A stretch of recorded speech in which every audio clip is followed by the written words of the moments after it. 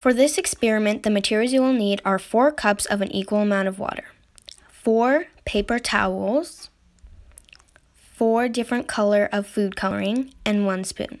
You then start to put a couple drops of a different color in each cup. We are using food coloring so that you can see the water absorbed through the paper towel through osmosis. Then you mix it evenly. Osmosis is the spontaneous net movement of solvent molecules through a selectively permeable membrane into a region of higher solute concentration in the direction that tends to equalize the solute concentrations on the two sides.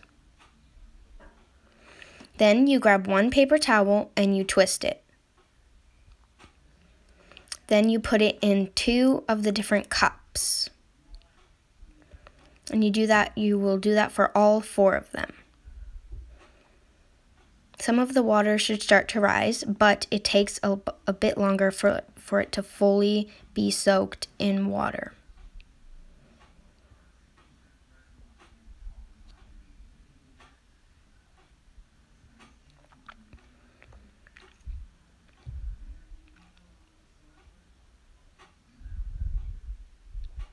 This is how it should look like when you're finished.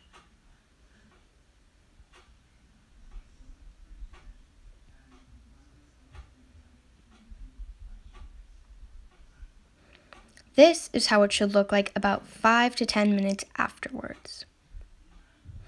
But you will, we will be waiting a couple more hours to see it fully soaked in water.